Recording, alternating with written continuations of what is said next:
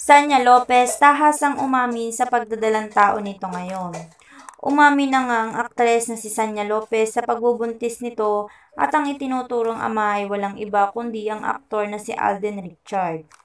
Ayon kay Sanya Lopez ay kinagulat nila ang blessing na ito maging si Alden Richard ay gulat na gulat nang sabihin ito ni Sanya sa kanya. Ayon naman sa dalawa ay haharapin nila ang obligasyon na ito at susuportahan ng bawat isa sa magiging desisyon nila para sa magiging anak nila.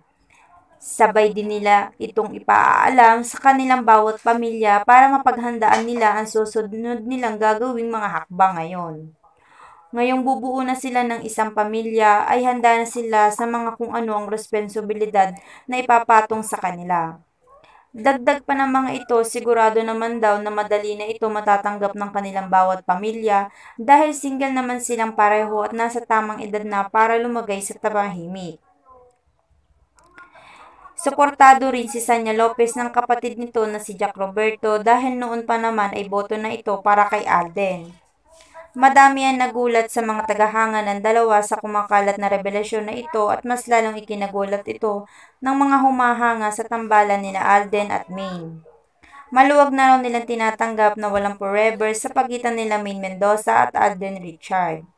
Masaya na rin naman ang aktres na si Maine Mendoza sa boyfriend nitong si Arjo Ataide. Komento na lang ng mga netizen ay susuportahan na lang nila ang kanika nilang mga idolo sa kung sino ang nagpapasaya sa bawat isa.